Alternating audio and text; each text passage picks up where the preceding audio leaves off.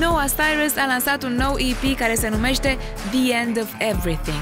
Acolo vorbește și despre cât de greu i-a fost să crească în umbra lui Miley Cyrus. Într-un live pe Instagram, Noah a vorbit mai mult despre mesajul din spatele ultimei sale piese, Young and Sad. Mereu a simțit că e acea persoană de care nu-i pasă nimănui din cauza lucrurilor pe care oamenii le spuneau despre ea în online. Nu eram îndeajuns de bună, ori era modul în care arăt sau cel în care mă comport.